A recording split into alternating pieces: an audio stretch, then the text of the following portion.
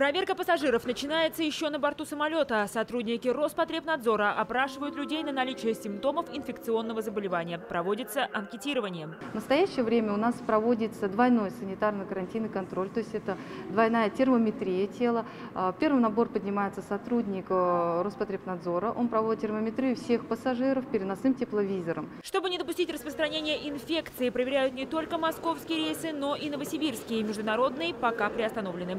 В зале ожидания карантин. Вход только для отбывающих и прибывающих.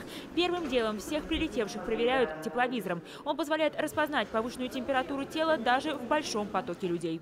Если э, человек с повышенной температурой показывает э, темно-алый цвет. Если у человека нормальная температура, то цвет э, светло-оранжевый. Сейчас среди прибывших Сейчас среди прибывших пассажиров с повышенной температурой не, не определилось. Если пассажира с повышенной температурой все-таки обнаружат, его переводят в изолятор до выяснения всех обстоятельств. Если больной выявляется у нас на борту, мы напрямую с летного поля заводим больного без контактов. Здесь он у нас находится до прихода медиков. Врачи осматривают и выставляют диагноз. И на основании этого диагноза мы проводим дальнейшие мероприятия. Если у нас инфекция особо опасная, у нас э, срабатывает оперативный план на случай вы- выявления особо опасной инфекции. У специалистов Роспотребнадзора в арсенале есть все необходимое для того, чтобы проверить пассажира, в том числе пробирки для забора анализов, противочумный костюм и не только. Здесь в комплекте защитная одежда для работающего, очки, а, респираторы. То есть мы выходим с этими двумя чемоданами и полностью э, анализы у человека больного с подозрением берем.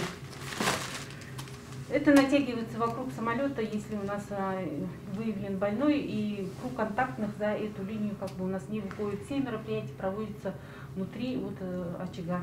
В самом аэровокзале соблюдаются все меры безопасности, проводится регулярная санобработка помещения. Что касается наземного транспорта, то компания РЖД организовала по всей стране доступ врачей в поезда, на станции и вокзалы для осмотра пассажиров, а также...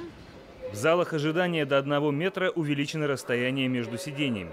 По громкоговорящей связи организовано информирование пассажиров о необходимости соблюдать меры профилактики, чтобы исключить заражение коронавирусной инфекцией.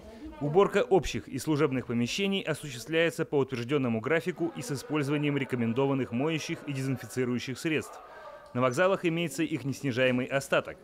Все сотрудники обеспечены средствами индивидуальной защиты. Регулярную дезинфекцию проходит подвижной состав. Усилили профилактику и на автовокзале города. Все маршрутки обрабатываются дезинфицирующими средствами, а водители должны иметь при себе маски и перчатки. То же самое касается и городского транспорта. Мы в ежедневном режиме э, сотрудники распределяются, ездят по конечным остановочным пунктам, э, проверяем наличие масок, э, наличие перчаток, дезинфицирующих растворов э, и э, на предмет э, того, как протираются поручни, сиденья, ручки. Люди, водители, которые допускают нарушение данных требований, они не допускаются на линии. Призывают соблюдать меры безопасности и сотрудники ГИБДД. Соблюдайте масочный режим, перчатки одевайте.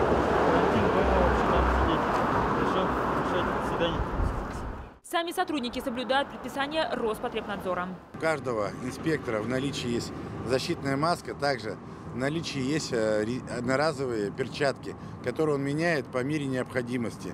Также сотрудники у нас ориентированы на то, чтобы проводить профилактические беседы с участниками дорожного движения о том, чтобы последние оставались дома, э, на время карантина никуда не выходили без острой необходимости. Отметим, на сегодняшний день власти города убедительно просят соблюдать карантин и внимательно следить за состоянием своего здоровья. Екатерина Иллистратова, Даниил Дурхисанов, Сергей Медведев. Новости дня.